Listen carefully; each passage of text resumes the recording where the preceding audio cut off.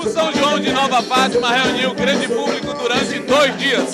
Shows como Anjo Azul, Amor de Cinema, Limão com Mel, Silvano Salles e Forrozão Safado. Baixando lá embaixo, na casa dos maços, na casa dos maços, um por cima e dois por baixo. Aí é demais. Eu bebo de todas, faço regaço.